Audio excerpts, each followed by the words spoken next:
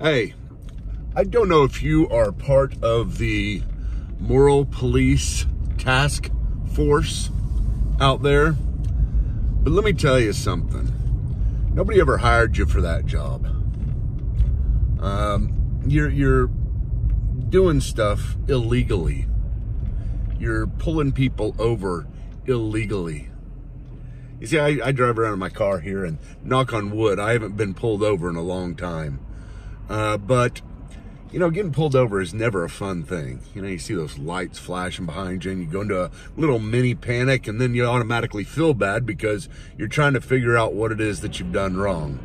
And normally there is something you've done wrong. You've been pulled over by a legitimate police officer.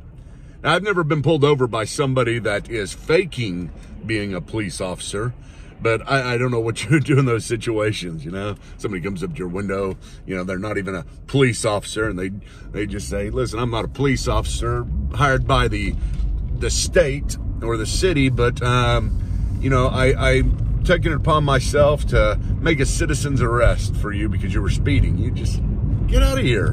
Who do you think you are? Leave. Leave me alone. I'm going to call the police on you. You know that there's people who do that kind of stuff, I've heard. And you got to be careful, especially people who want to kidnap or something. But you know, we've got so many people out there within the spiritual world that are doing just that. They're they're legalists. And you know, legalism, the, the essence of legalism is not always or maybe not even primarily self-righteousness. You see, oftentimes we think of legalists and we think they just think there's something so great. And oftentimes they do. And uh, that is the problem. But more often than not, for most of us, for most of you, for me, it has to do with control. You see, we want to control things. It's not as if we're trying to bring about something evil and we, we, um, you know, want to make you feel bad. And we love people pulling people over whenever you're we're we're legalists, it's it's that we want to control things and we want things to be better. I mean that that's it. That's the that's what we're trying to do. We're trying to make life better for someone else. We're trying to we're trying to make people do the right thing. And so we become legalists because we think we can control things. You know, there's very few things in this world that God has given us control over.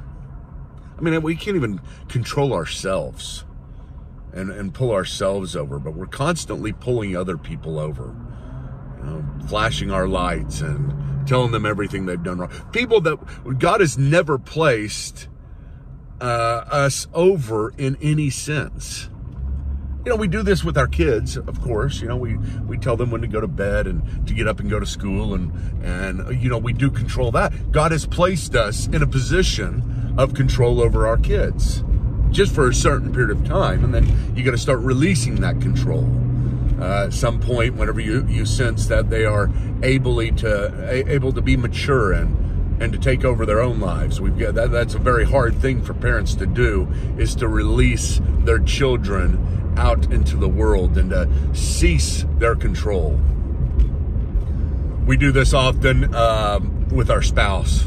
You know, we we are always attempting to control our spouse, especially right after you first get married. You're trying to change them, trying to make them and shape them into your image, into the image that you believe they ought to be. And it's never a bad thing that we're trying to do. We're not trying to be evil. We're just trying to control things. We're trying to set the board of life up in such a way to where whoever is in our path, we take and we put them in their proper place, the way we see it you know, is what you see in Romans chapter um, chapter 13, where where uh, or chapter 14, where you have the person who is turning on their lights on the people who are eating meat sacrificed to idols. You're, you're a Christian, you're eating just the regular meat that everybody else eats, but it's, it's been sacrificed to an idol. So I got to turn on my lights and pull you over and tell you that's just wrong. You can't do that. And in that passage, God, Paul has some pretty strong things to say. He says, you know, who are you to try to control the servant of another before the other person who is actually in control, God, that person stands or falls, not you. Why do you think you're in control of this person? Besides the fact that you're you're telling them about things and trying to control them in things that the Bible doesn't even speak of, and that's often the case. You know, we're trying to control the little things of life for our spouse or for our kids, things that aren't really as important as we think they are, that have nothing to do with really their spirituality. They're just what we want, how we want them to behave what we want them to, to do, what we want them to eat or drink or, or watch on television or, or any number of things. That's what we're trying to do. We're trying to control them because this is the way we want it. We do this also in a doct in, a, in the doctrinal world uh, with theology. We try to control other people's theology. We, uh, you know, we're the doctrinal police. We're pulling people over left and right, telling them everything that they got wrong, especially on social media. My goodness, there's so many people getting pulled over. You know, everything you post, it feels like you get pulled over. There's certain people that whenever I see their lights behind me, I see an email come in from them, I see a comment, you know, it pops up and says so and so's made a comment. I'm like, oh my gosh, no, they've got their lights on. I know it. Because that's just the way that person is. There, there are no people. You know, we're we're filled. The world is filled with so many no people. No, very few yes people. Very few people who just let you drive on by. You know, even if you are speeding, they uh, they uh, very few people let you drive on by in the doctrinal world and in the moral world. You know, I, I don't know. You know, if you could count, if you could try to figure out how many people God has really placed you over how many is there? I mean, I, I think there's maybe one. Maybe it's you, yourself. And even then, again, you can't control yourself, but we feel like we're, we have the obligation to step in and, and, uh, give tickets to just about everybody.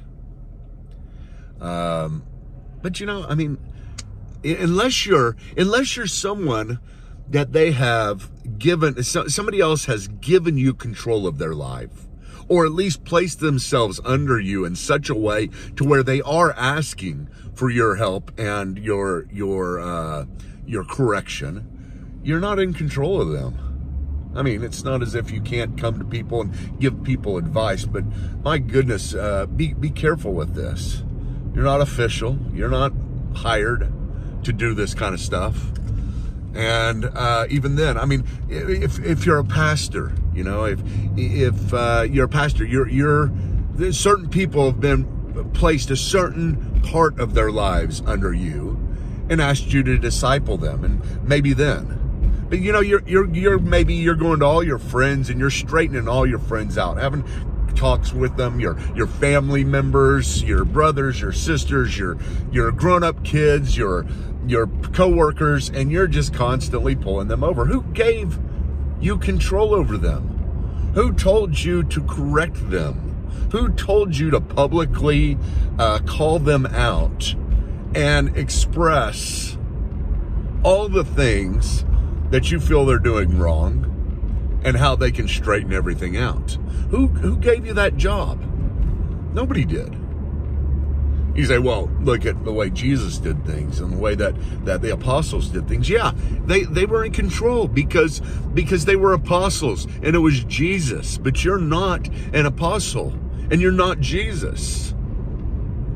And so you, you, you can't, unless they have come to you and said to you, hey, will you, will you let me know all the things that I'm doing wrong? I, I place myself under you. I respect you enough to, to listen to you. Then, then yes, you can make the decision of whether you help that person out and whether you can call them out on things. But if they haven't placed you there, you have no business calling them out. You have no business trying to play the Holy Spirit in their lives.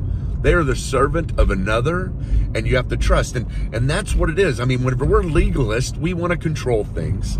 And it's so hard for us just to let things be and to trust God. You see this oftentimes when people are given the gospel and, and preaching the gospel. We want to control it by making sure everybody knows not only do you do you trust in Jesus, but here's all the things you do afterwards. Here's how you're supposed to straighten your life out. You got to quit drinking. You've got to change your lifestyle, you know, and deal with this first in your life because this is what I say you have to do because I, I don't like you being out there calling yourself a Christian and acting in ways that I don't like. Therefore, we try to control it. We try to sanctify them first and then allow them into the kingdom. And you know, I love Martyn Lloyd-Jones' statement about this. If the true gospel is being preached, when the true gospel is being preached, there's always a risk. And and being gracious is risky. It's a hard thing to do to be gracious because we don't have control. When you're gracious to someone, you're leaving them in the hands of someone else.